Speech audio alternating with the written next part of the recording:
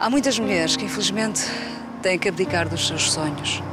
Outras trabalham tanto, mas tanto, nem têm tempo para elas próprias. Mulheres. Nomeação para Emmy. Mas quando alguém nos dá uma oportunidade, quando alguém nos respeita, quando alguém nos ouve, nos apoia, nós somos capazes de enfrentar tudo e mais alguma coisa: o trabalho, o marido, filhos, seja o que for.